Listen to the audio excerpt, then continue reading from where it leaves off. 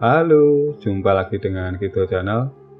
Video kali ini membahas cara membuat ikon kotak, bulat, segitiga, dan lain-lain menggunakan aplikasi Pixel Lab.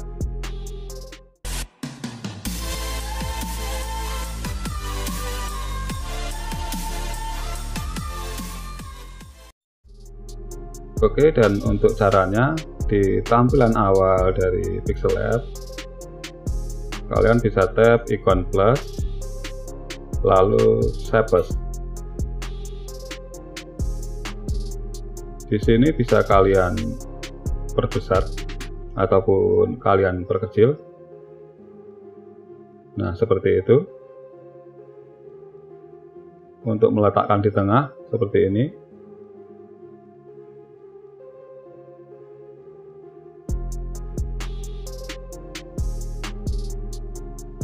Oke, nyampe sini di menu drop down ini kalian scroll ke atas.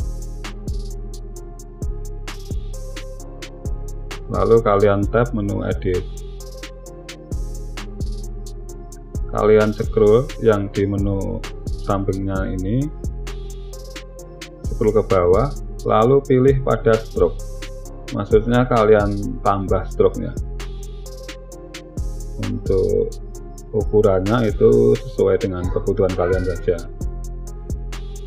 Lalu kalian kembali scroll ke atas. Di opacity kalian turunkan sampai ke 0 otomatis gambar yang di tengah akan hilang. Untuk merubah warna caranya kalian scroll ke bawah. Ini colornya ada dua. Color yang atas ini untuk yang gambar tengah yang kita hilangkan tadi. Sedang yang bawah adalah yang untuk stroke nya nah seperti itu.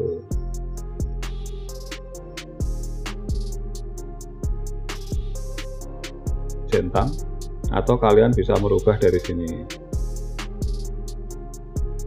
Nah di sini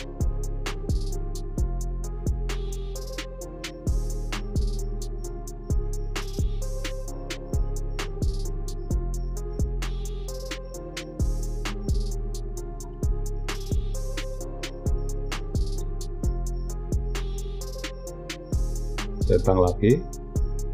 Kita letakkan di tengah. Ini sudah selesai tinggal kita rubah backgroundnya dari yang kehijauan menjadi transparan.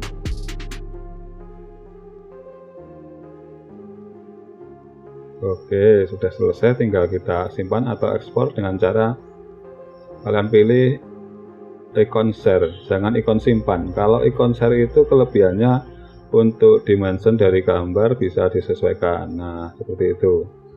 Mulai dari yang default sampai ke ultra. Minimal ini ke high. Jangan lupa untuk formatnya pun kalian pilih yang PNG biasanya ini otomatis. Jika sudah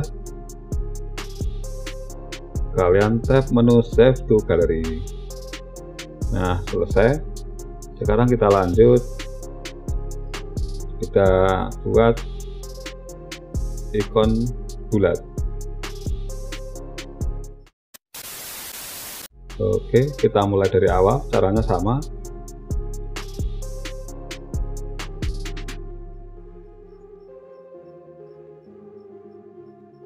Saya ulangi lagi.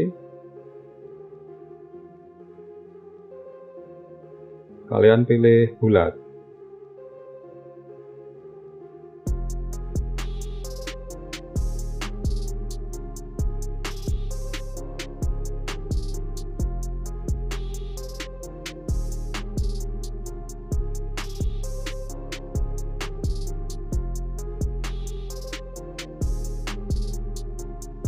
ini untuk merubah warna. Nah seperti itu. Warnanya berubah.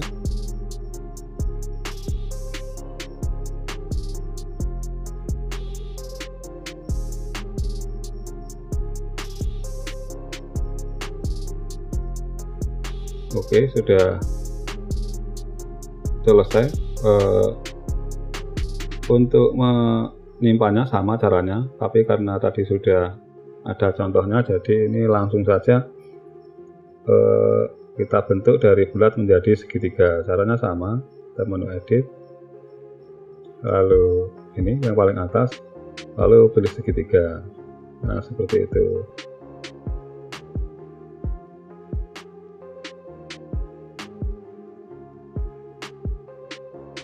Oke, ini sudah selesai dan saya ingatkan lagi silakan berlangganan Bang Jo Channel dengan cara subscribe.